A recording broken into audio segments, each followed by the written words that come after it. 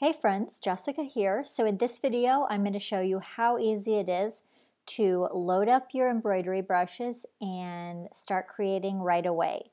So right now I have a document open, just an empty document, and here's my brush panel.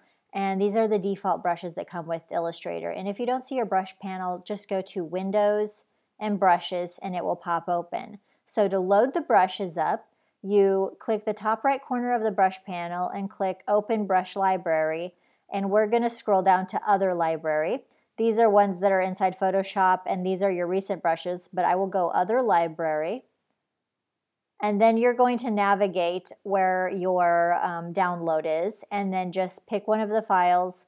For each different um, brush, each different thread, there is a brush file. So there's one, two, three, four, and five. So it's called 01 brushes and we click open. This is a brush file only and it will pop open right here and, and, there'll be a window. Sometimes it will pop open like this and if that's the if that's the case what I normally do is I'll grab that little flyout and pop it over here on my panel and in this case I keep them all together.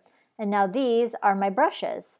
And now these brushes are available for me to use within this document. So I can simply grab my brush tool over here, paintbrush tool, grab one of these brushes and start painting just that easy with all of the brushes.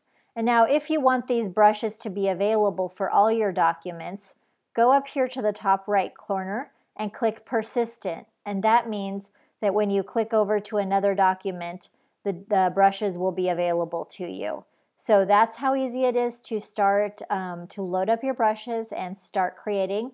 And be sure to watch my other videos where I go more in depth and help you get the most out of your product.